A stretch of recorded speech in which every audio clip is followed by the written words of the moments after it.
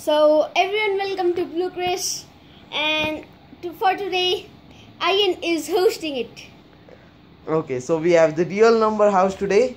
So it's a simple, very simple maths project. Like it can be used for beginners and all and stuff.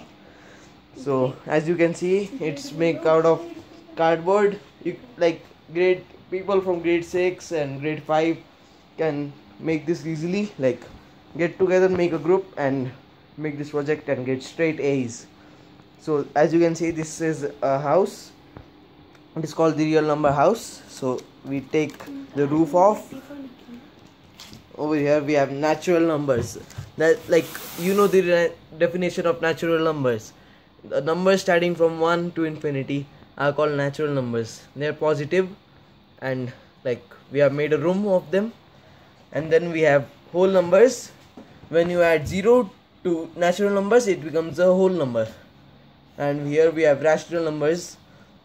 The rational numbers uh, can be defined as p by q where q is non-zero value.